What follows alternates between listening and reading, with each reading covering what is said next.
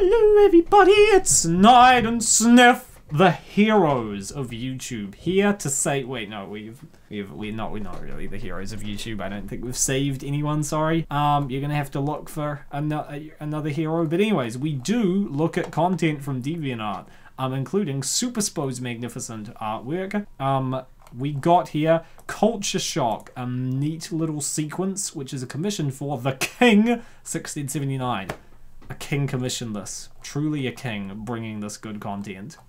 Um, yeah, let's jump in. Oh, also, if you want to check out Super Spo's stuff, it's over on DeviantArt, and you can also commission him! Commissions are closed now, unfortunately, but they are open sometimes, so you can get this content like this as well. Anyways, so we've got this French lady here looking exceptionally French. I love... She's got a baguette sticking out of her backpack.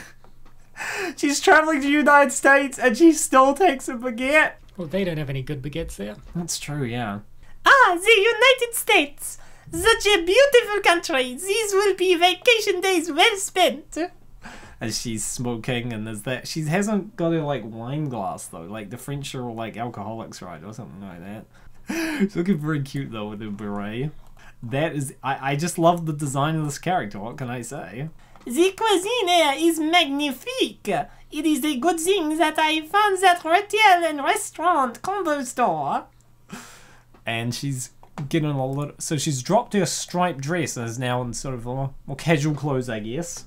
Still with the, the Frenchy sunglasses and looking a little thicker. Don't they say French women don't get fat? Well, I guess they do. Obvious pun.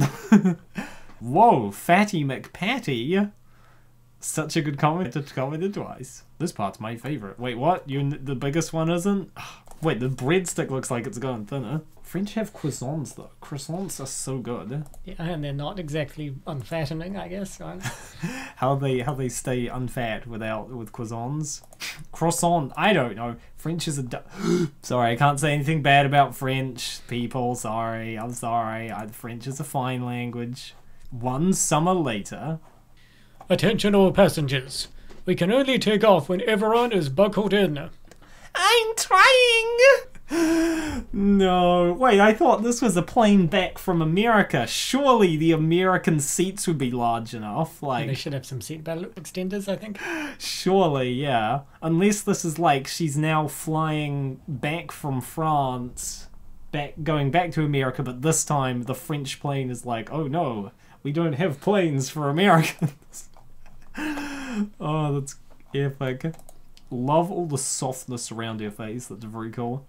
But where is the baguette? Where is the baguette? She eaten it! Sad face. Eating is more or less as a hobby now. I'm so... I love it that Super Spo, like, added to the lore by, by explaining what where the baguette went. but that's all we have for today, everyone. Just a quick little bit of Super Spo content here. Super Spo has a ton of epic content definitely check him out and commission them when they're open. Thanks for your time, guys. Bye.